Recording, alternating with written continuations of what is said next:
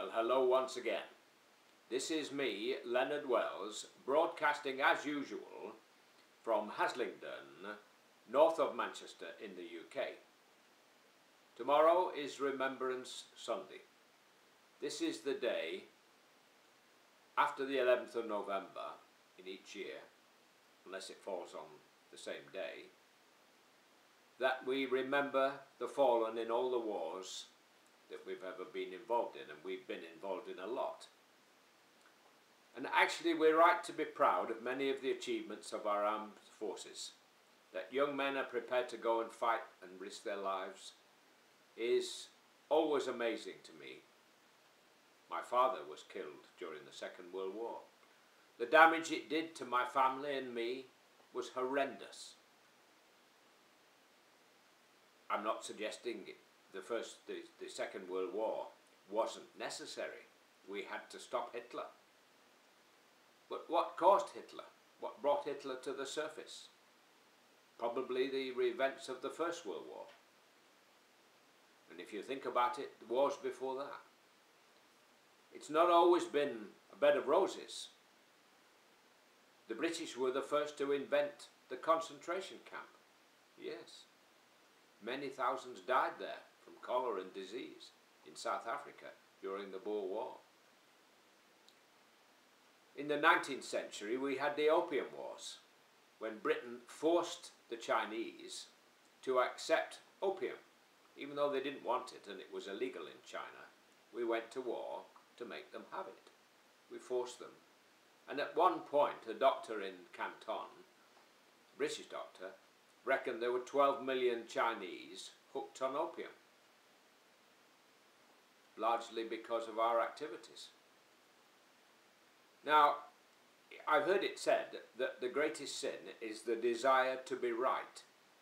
Because once the desire to be right takes hold of somebody, they will fight tooth and nail and to the death, which often happens,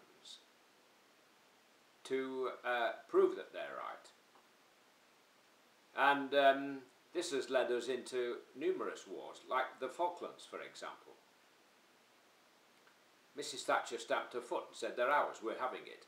And yet, before the Falklands War in the 60s and 70s, the government had come to the conclusion that we couldn't afford to keep the place and we were quietly trying to give it back to them. That's all hushed up now. But are we going to go on forever and ever keeping troops practically at the South Pole because that's where the place is? I'm playing devil's advocate to a large extent at the moment, but I do sincerely believe that we should not go on with this running sore between Argentine, uh, uh, uh, uh between the Argentine and ourselves. Uh, and um, I'm sure the people of Argentina and the people of Britain would be a lot happier if we didn't have this problem. Why not sit down with the Argentinian government and argue along these lines? We put a big investment into the Falkland Islands. We've made mistakes, we've all made mistakes. The war itself was probably a mistake and unnecessary. And we don't want it to happen again in the future. But we've reached a stage in our economy where we're having to cut benefits to people. And we're putting the cost of higher education up to £9,000 a year. And we can't really afford to keep troops thousands upon thousands of miles away, almost in Antarctica. So how about this? We'll say to the people of the Falkland Islands, if you wish to remain and be, be, uh, come under the uh, government of Argentina, then so uh, uh good luck. But if you, in, if you prefer to come home to England, we will give you a piece of land equivalent to what you had in the Falklands and a house and a home if you, if you had one in the Falkland Islands so that you will not lose.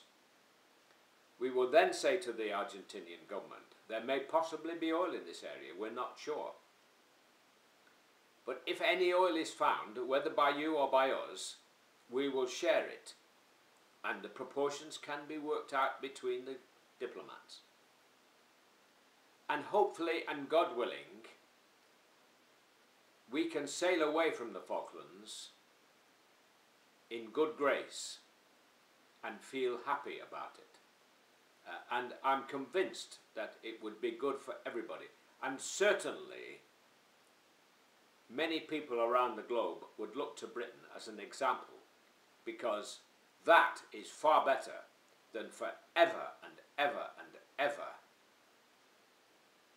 crowing about the rights of the British to rule little rock in the middle of nowhere and costing us an arm and a leg. See what I mean about the um, desire to be right? This is what happens when people get on their high horse, and Mrs. Hammond, Mrs. Uh, um, Thatcher, was often getting on her high horse, and she got on her high horse over the poll tax. And in the end, police had to get on their high horses to stop the riots over the poll tax.